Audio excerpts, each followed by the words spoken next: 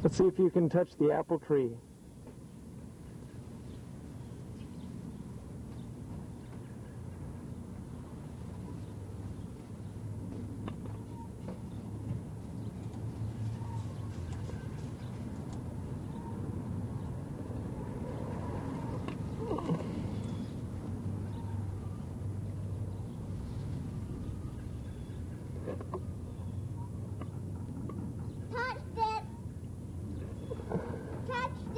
Touched